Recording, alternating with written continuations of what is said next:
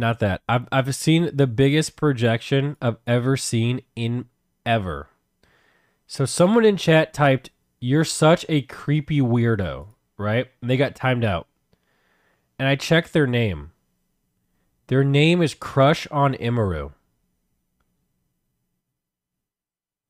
I'm a creepy weirdo. Says you, fucking projecting viewer.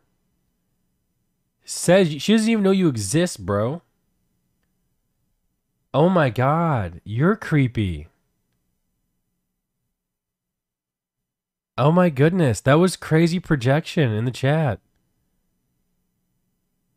Oh my god, he's probably the one that typed booba time. he's in the booba time.